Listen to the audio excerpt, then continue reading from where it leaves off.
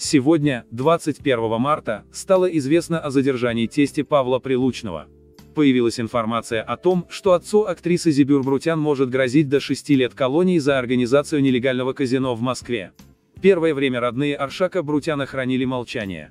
Спустя пару часов после появления шокирующей новости на связь с журналистами вышла дочь предпринимателя. Супруга Павла Прилучного дала понять, что поводов для переживания нет.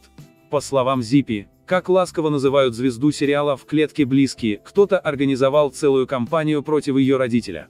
Информация о задержании и обвинениях в организации нелегального казино в столице России якобы не имеют под собой никакого основания. Это заказная история. Ложная информация. Кому-то не дает покоя тот факт, что у нас царит спокойная, счастливая жизнь. Кто-то хочет опорочить честь нашей прекрасной семьи. Я понимаю, откуда ноги растут, и кому нужно распускать про нас небылицы в информационное поле, заявила супруга Прилучного. Неудивительно, если поклонники Зипюр свяжут ее слова с недавними столкновениями с бывшей женой Павла. Совсем недавно Брутян схлестнулась в социальных сетях с актрисой Агатой Муценица. Впрочем, вряд ли бы мать старших детей Прилучного сейчас стала бы тратить свое время на подобные интриги. Во-первых, звезда очень занята съемками и воспитанием сына и дочери. Во-вторых, сейчас в личной жизни Муценица тоже все прекрасно, так что вряд ли именно ей не дает покоя тот факт, что в семье Прилучного и Брутян царит спокойная счастливая жизнь.